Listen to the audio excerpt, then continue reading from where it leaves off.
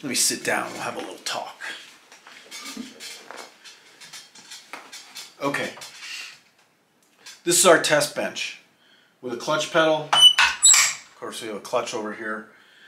Right here is a clutch switch. Now the one on the car needs to be adjustable and not just a push button switch like this. You can set it up however you like.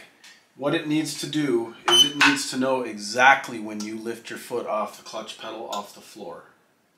If you can hear that click, that's our switch. So as soon as I release the clutch pedal, that switch needs to open because the controller needs to know the position of that because normal clutch operation the first three inches doesn't do anything. It's this last inch right here the clutch is starting to bite or engage that we need to have control of. So when you dump the clutch, there's a period of time that passes between this point here and the point that it starts to bite. And we need to we need to be able to dial that in. We're going to use the app to do that. And first we're going to find that bite point using the bite screen. All right, so we want to get the back end of the car up in the air so that we can turn the tires. And we want to set it up in gear with the key on, not running, obviously, but just ignition on. Okay, so now I'm just going to show the bite screen setup. We're going to go ahead and connect to the app. It's going to connect to the um, Bluetooth controller. And we're going to go to the bite screen.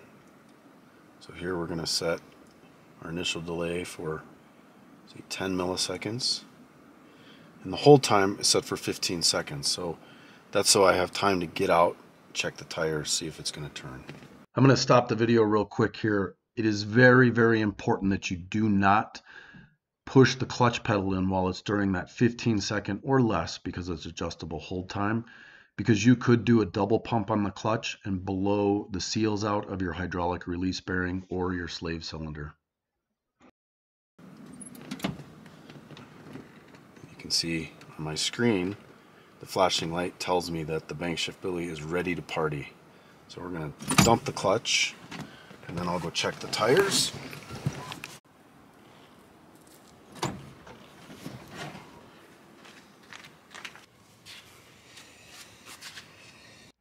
Okay, since the tires turn, there's not quite enough bite, so we'll add a little bit. Try 5 milliseconds and try it again.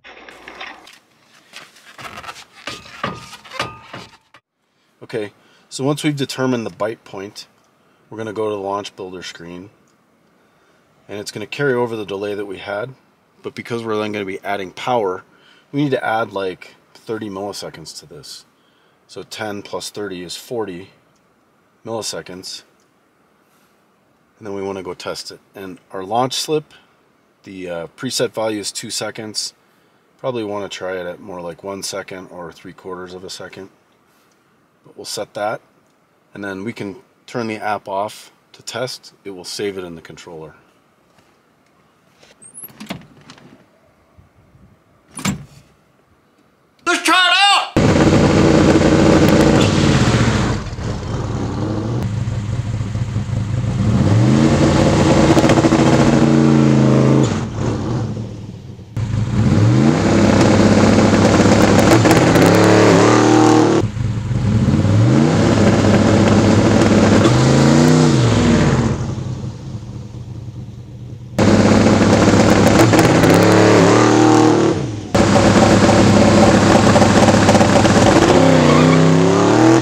There you have it. Super easy to adjust with the app on your phone. This took 12 minutes to make seven launches and get it dialed in. Imagine that with an adjustable slipper clutch. It'd probably take you half the day. And this thing will work at the track with a few milliseconds changes here or there, and it'll work as well as a slipper clutch. So go out and bang some gears and enjoy your street car.